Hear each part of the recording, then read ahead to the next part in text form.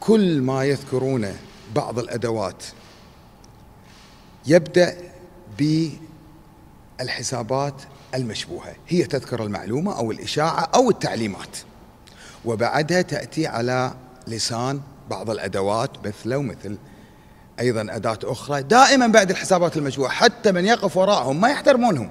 يعني ما يعطونهم التعليمات أول أو الأخبار الأول. لا أول ينزلونها بالحسابات المشبوهة وبعدين يقولوا لهم أنتم الآن الردادات تردون على ما ذكر بالحسابات. هذا أمر راجع لهم. يعني كل إنسان له كرامته ولا مقامه ولا اللي يقبل على نفسه هذا راجع له. لكن أود أن أستذكر في تحليل هذا الوضع الخطاب التاريخي لسمو نائب الأمير في 23 أغسطس عندما وصف هذه الحسابات بمعاول الهدم والافتراء والفتنة وعندما قال بأنه لن يسمح لفئة ضالة بأن تجر البلد إلى الفتنة والاقتسام. وقد رديت عليه كرئيس لمجلس الأمة وغالبية أعضاء المجلس والشعب الكويتي سمعا وطاعة يا سمو نائب الأمير وأؤكد مجددا بأننا سنقف أمام هذه الفئة الضالة ولن نسمح لها.